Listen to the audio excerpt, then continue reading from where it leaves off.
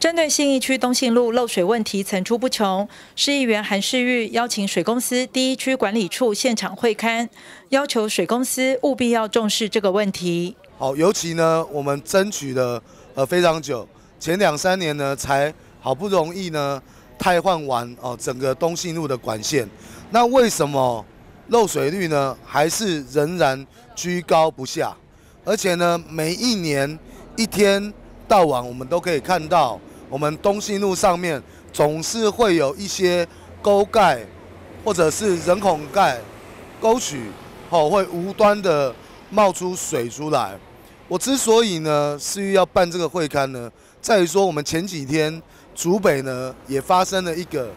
疑似天坑的事件，一辆车辆就立刻的、马上的，哦就掉下去。那这个事情的话，如果万一发生不幸的发生在我们基隆这边，那情何以堪？尤其呢，我们现在一直又在推所谓的路平专案。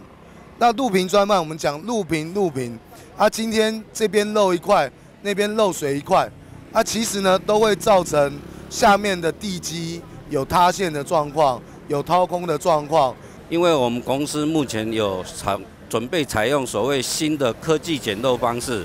它是利用噪音记录去去了解每一个漏水管段回收回来的资讯，那这是一个比较新的方式。另外，我们也跟工研院有一个所谓的 AI 听音整漏，它把这些资料收集之后送到工研院去做分析，然后可以加速的精准的定位出我们的漏水点。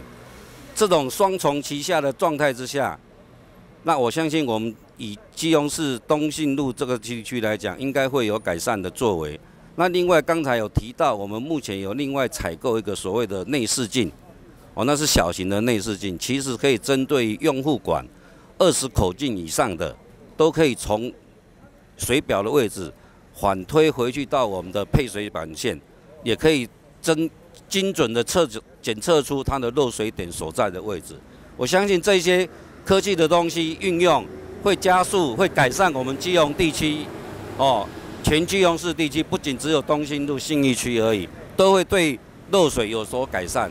所以呢，市域呢，好建议，好强烈的要求，好我们市政府，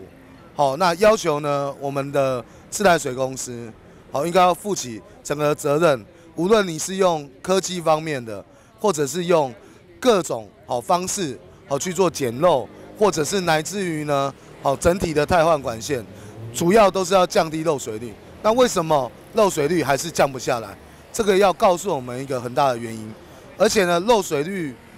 降不下来以外，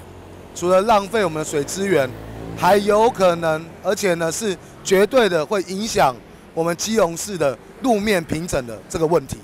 由于一再漏水严重，影响东信路的路面品质，也浪费水资源。市议员韩世玉也请市政府加强监督水公司，希望彻底改善漏水问题。记者黄日升、陈淑平基隆报道。